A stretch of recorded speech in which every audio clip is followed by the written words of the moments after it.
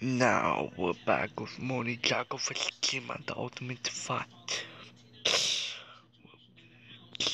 We're back with Moni Jacko vs. and the ultimate fight. Watch videos, play games, and more.